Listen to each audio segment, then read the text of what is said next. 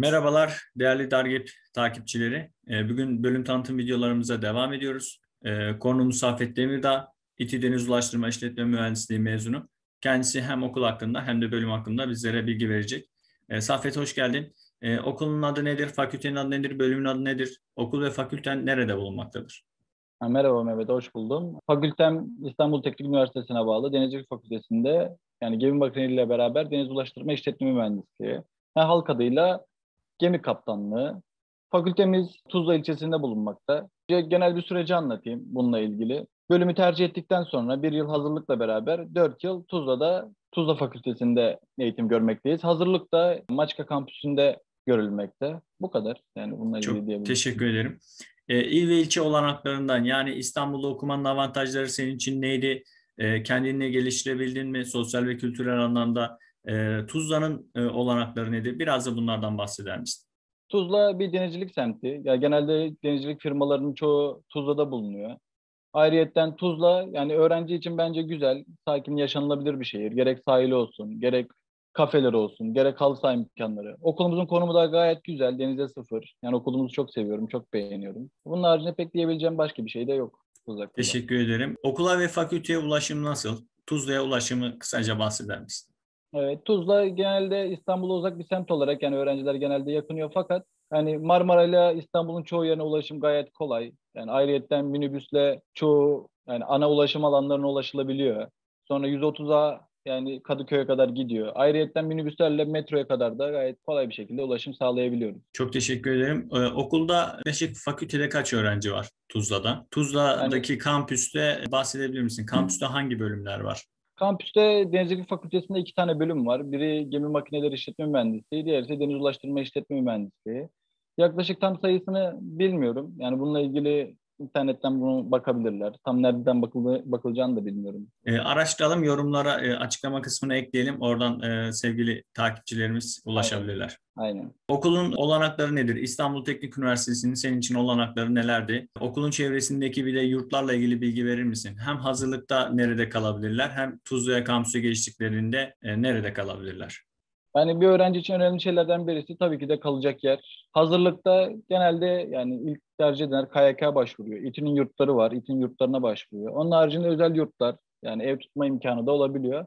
Tuzla'daki fakültemiz içinse zaten en önemlilerinden birisi okulun içinde bulunan Binali Yıldırım öğrenci yurdu. Orada kadın ve erkek aynı şekilde yurtta barınabiliyor. İmkanı da yani herkesin kalma olanağı da yurtta gayet var. Ama onun haricinde Okulun dışarısında özel yurtlar var. Ev kiraları biraz ucuz olduğu için de öğrenciler evde de kalabiliyor. Diğer semtlere göre biraz daha ucuz. Evet, çok teşekkür ederim. Ee, okuldaki öğrenci ortamı nasıl?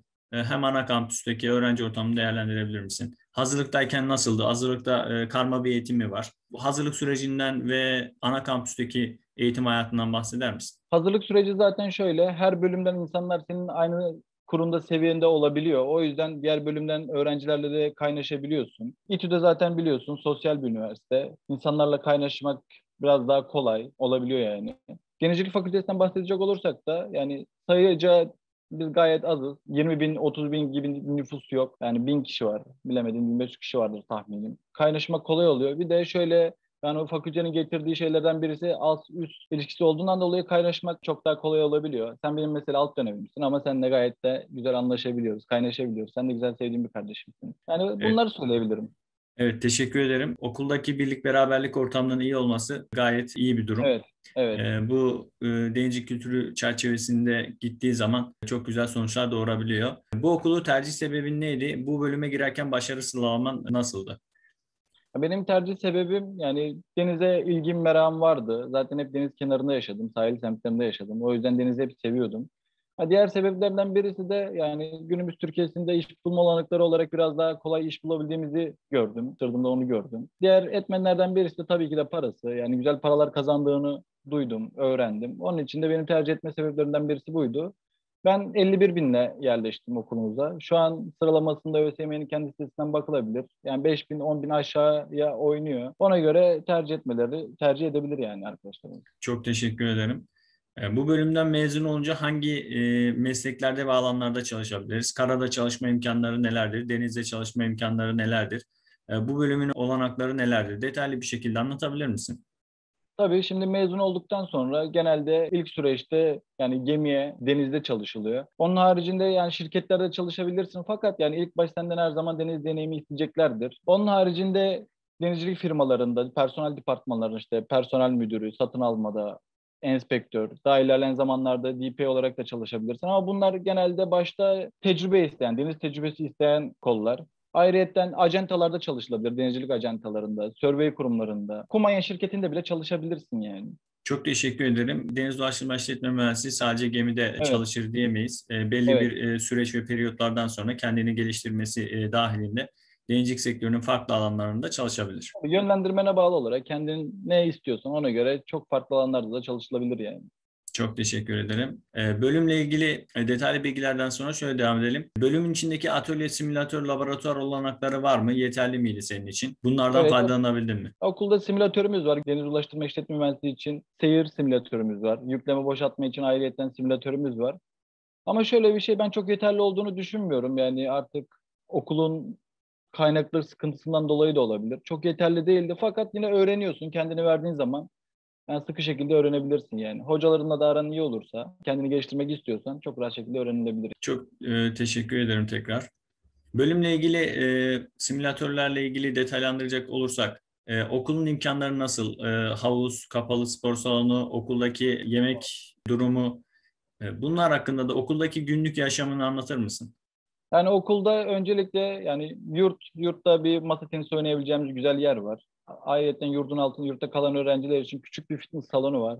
Ama ayrıca okulun da kendine ait gayet güzel. Yeterince alet bulunduğunu düşündüğüm güzel bir fitness salonu var. Kapalı spor salonu var. Orada yani istersen futbol, istersen basketbol, istersen voleybolda oynayabilirsin. Kapalı havuzumuz var, yüzme havuzumuz var. Orada da yüzebilirsin. Yani boş olduğu zamanlar. Onun ayrıca okul zaten genel olarak denizin kenarında olduğu için gayet nezih. Yani iki turlamak bile bazen yetiyor. Havuz arkasına gidip iki muhabbet etmek bile bazen insana çok iyi gelebiliyor yani. Çok teşekkürler. Ee, bölümde okurken seni zorlayan dersler oldu mu? Seni zorlayan zamanlar oldu mu? Eğitim hayatım boyunca şurada çok zorlandım dediğim bir şey oldu mu? Yani şöyle dersler konusunda yani az çok çalışan birisinin dersleri veremeyeceğini düşünmüyorum. Dersler genelde kolay ve çalışan kişi için kolay tabii ki de. Ama benim için en zorlandığım süreç sonuçta staj. Staj döneminde gerçekten zorlanmıştım. Çünkü yani yaşamadığım bir hayat, beklemediğim bir psikoloji, ailenden uzak. Ve biraz daha yoğun çalıştığımdan dolayı staj süreci beni çok yormuş. Stajdan e, konu açılmışken staj bulmak çok mu zor? Staj bulmak imkansız mı? Staj bulmadan bulamayıp okulunu tamamlayamayan öğrenci var mı? Şöyle az buçuk uğraştığın zaman staj çok rahat bulabiliyorsun. Zaten okulumuzda biliyorsun bu konuda öğrencilere gayet yardımcı oluyor. Okulumuza şirketler geliyor ve şirketlere yaptığın başvurular sonucunda o başvurduğun şirketlere mülakatlara giriyorsun. Şirket genelde yani güverteden 70-80 kişi civarı alıyor. Zaten dönemde de 100 kişi falan vardır tahminim. Geri kalan kişiler de zaten yani kendi bireysel başvurularıyla şirketlerde de staj bul- bulabiliyor. Ben çok yani duymadım stajından dolayı okulu uzayan kişilerin olduğunu yani. Çok teşekkürler. Peki bu staj süreci İstanbul Teknik Üniversitesi'nde nasıl? Zorunlulukları nelerdir? E, birinci sınıf bittikten sonra ne yapması gerekir? İkinci sınıftan sonra ne yapması gerekir? E, uzak yol stajı nedir? Uzak yol stajına ne zaman çıkılır? Bu stajları tamamladıktan sonra e, bizi ne bekliyor? Stajlar bittikten sonra, mezun olduktan sonra ne oluyoruz? Normalde Tek, İstanbul Teknik Üniversitesi'nin bizden beklediği birinci sınıfın yaz döneminde 3 ay staj, ikinci sınıfın yaz döneminde 3 ay staj ve üçüncü sınıfın bahar döneminde yani ikinci döneminde 6 ay staj olmak üzere toplam 12 ay bizden staj beklemekte. Fakat şöyle bir şey de var. İlk birinci yazda 3 ay stajını yapamadığın zaman okulun uzuyor diye bir kaydı yok. Çünkü bunu uzun stajında yani 6 aylık periyotta atıyorum 8 ay yapmışsındır bu uzun stajını. O 2 ay senin kısa stajına eklenebilir. Ayrıca staj süreci bittikten sonra da seni yani gerekli dersleri verdikten sonra da liman komisyonu bekliyor. Liman komisyonuna girdikten sonra stajların hepsini yaptıktan sonra liman komisyonuna giriyorsun. Liman komisyonuna girdikten sonra da yani güverte için 6 tane sınav var. Bunlara girdikten sonra ehliyetini de gayet alabiliyorsun. Bu e, ehliyet diyoruz. Ne ehliyetine sahip oluyorsun? Bir de bu ehliyet nasıl alınıyor?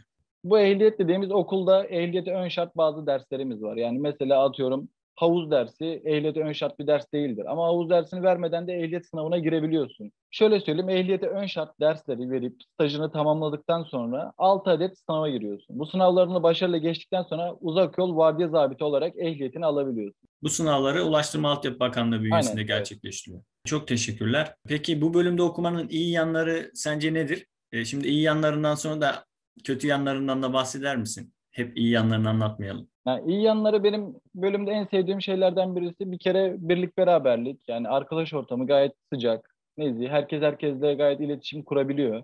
O yönünden yani bölümümüzü çok seviyorum.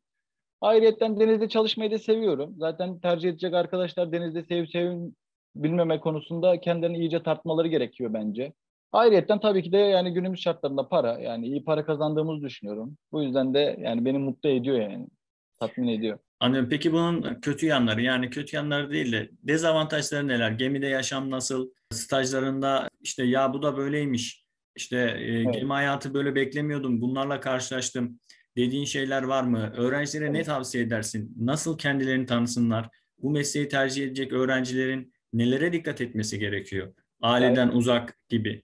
Yani önce kendini tanıyabilmen için şartların ne olduğunu bilmen gerekiyor. Onun için de denizciliğin yani nasıl bir şey olduğunu biraz bahsedeyim. Yani denizci dediğin 12 ayını bir valizde gezdiren bir adam. Yani gezdiren bir insan. Ailenden uzaksın. Yani yoğun çalışma şartları. Biraz uyku saatlerin bazen yani tam zamanında olamayabiliyor. Çünkü manevrası oluyor. Ayrıca başka işlerin oluyor. Uykun düzenli olmuyor. Ailenden uzaksın. Bazen 3 ay, 4 ay, 5 ay çalıştığın gemi tipine göre, çalıştığın yere göre, personel değiş şirketin personel değiştirme politikalarına göre yani 8 ayda gemide kalabilirsin, 6 ayda gemide kalabilirsin. Buna her zaman hazırlıklı olman gerekiyor. Olmayacak bir şeye yani her zaman aksine kendini hazırlaman gerekiyor. Bunlara alışman gerekiyor. Ya zaten bir kere karadan uzaksın.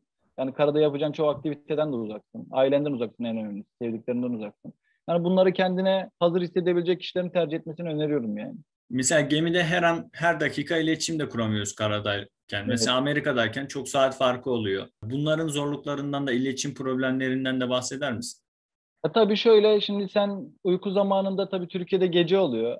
yani konuşabileceğin kişiler uyuyor oluyor. O yüzden çok da rahat edemiyorsun, konuşamıyorsun. Her yerde zaten telefon çekmiyor. Yani okyanusun ortasındayken uydu telefonundan yani çok zaten arayamıyorsun. Normal internette bazen çekmeyebiliyor. Zaten internette gemide yani çoğu gemide pahalı. Onun için de çok evet. yani dünyayla çok bağlantın olmuyor yani. Evet o internet konusunda yani çok e, iyi imkanlar olan şirketler de vardır ama genel anlamda Aynen, genel e, anlamda. çok e, karadaki gibi bir internet e, söz konusu değil. Online eğitim sisteminden bahsedelim. Online eğitimde de eğitim aldın. Online eğitim sistemi okulda nasıldı? E, memnun muydun? Faydalı oldu mu? Denizcilik yani eğitimi online... uygulamalı bir eğitim. Evet. Bu konuda görüşlerini merak ediyorum. Yani dediğin gibi denizcilik eğitimi uygulamalı bir eğitim. Ne kadar çok uygulamalı olarak katılırsan o kadar çok şey öğrenirsin. Çünkü teorik bilmekle beraber uyguladığın zaman gayet pekişebilen, gayet çabuk öğrenilebilen bir meslek. Ama online dönemde yapacak bir şey yok. Yani sonuçta korona. Yani Innova üzerinden gelen linkle Zoom üzerinden dersleri gördük. Hocalarımız gayet anlaşlı, anlayışlıydı. Hocalarımız iyi bence. Yani ilgilendiğin zaman derse sen istediğini elde edebiliyorsun. Sınavlarımız genelde bazı hocalar ödevle yapıyor. Bazıları Zoom üzerinden yapıyor. Bazıları ha, bazı havuz derslerimiz var sahi. Yani fizik, matematik, sınavlar IO üzerinden yapılıyor. Yani o İTÜ'nün kendi sistemleri bunlar. Kolay oluyor genelde. Yani bu sistem, geç... bu sistemleri evet. kullanırken bir mağduriyet yaşadın mı? Yani teknik bir sorun.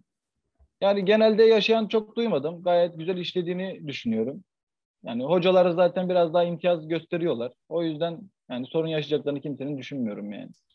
Çok teşekkür ederim. Bir de son bir soru e, rica e, ileteceğim. Bir gün Denizcilik Fakültesindeki bir gün nasıl başlıyor? Sabahleyin kalktın, işte üniformanı giydin. O günü e, evet. böyle yaşadığın bir anını, bir gününü, o gün neler yaptın, hangi derslere girdin, çıktın. Ne, yani bununla ilgili böyle bir kısa bir anlatım yapabilir misin? Yani bir gün içerisinde neler yapabilirsin Tuzla'da? Evet, Tuzla'da ben genelde sabah kalkınca ilk sakal tıraşımı olurum. Sonuçta üniforma giyiyoruz. Yani üniformadan da bahsedeyim sahi. Yani okulun ilk belli bir zamanı ve son belli bir zamanı, ikinci dönemin son belli bir zamanı beyaz üniforma giyiyoruz. Onun haricinde siyah üniforma giyiyoruz. Erkekler sakalını kesiyor. Yani saçları düzgün olacak. Kadınlar da genelde saçlarını bağlıyor. Bu şekilde bir üniformalı sistem var. Ben sabah kalktığımda ilk sakal tıraşımı oluyorum. Üniformamı giyiyorum ve ondan sonra kantinin önünde gidip biliyorsun herkes orada kahvaltısını yapar, sohbet, muhabbet. Ondan sonra da dersime giriyorum. Dersimden çıktıktan sonra da boşluğum olursa yurduma gidiyordum. İsteyen evine gidiyor. Zaten çoğu yer çok yakın. Yani Tuzla o kadar çok büyük bir yer değil. Bu şekilde günümü tamamlıyordum yani. Okulun yemekhane imkanları. Öyle... küçük güzel bir yemekhaneyi var. Öğlen yemeği yiyebiliyorsun, akşam yemeği de yiyebiliyorsun. Okulun içerisindeki imkanlardan da bahsettik. Ee, çok teşekkür ederim.